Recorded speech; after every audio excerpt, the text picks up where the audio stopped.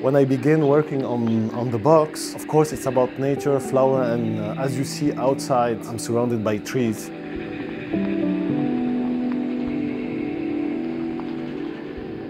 Big part of my inspiration that come from, uh, from nature.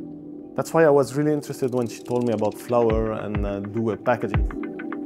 I went with the color of your identity in a way, so I tried to have a warm gray into the painting. From here, you don't know where it goes. This is the most interesting part, when you feel the white of the painting. So just a beginning like this, more or less, and then after that the painting is wide open to all kind of change.